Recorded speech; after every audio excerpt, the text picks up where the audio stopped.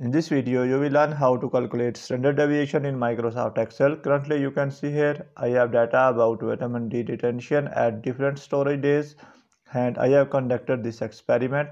Experimental values are shown by trial 1, trial 2 and trial 3 and by using this experimental data, I have calculated the standard deviation. So let's start this tutorial. If this video is helpful for you then please like this video and subscribe our channel for more informative videos.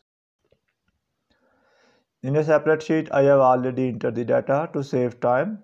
Now you will learn how to calculate the standard deviation using these three values.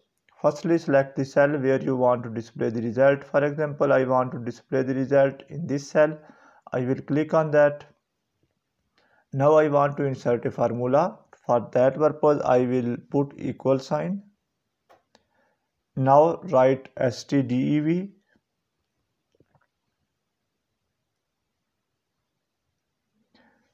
here you can see here stdev is appeared here. I will double click on it.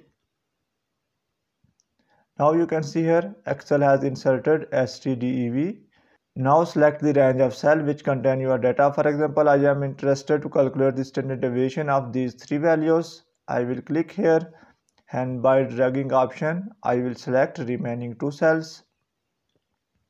After selecting these cells, close the bracket. Now our formula is complete. Firstly, put equal sign, then write standard deviation. After that, you will select the range of cell which contain your data. After completing this formula, simply press enter and Excel will calculate the standard deviation. Now you don't need to apply this formula on individual rows, simply select this one and place your cursor at the corner. When plus sign appear, drag it down for remaining cells Now you can see here Excel has automatically calculated the standard deviation for remaining rows and the small rectangle appear here it means that you have applied formula on this cell. So by doing so you can easily calculate the standard deviation in Microsoft Excel. That's the end of this video. Thanks for watching this video. Goodbye.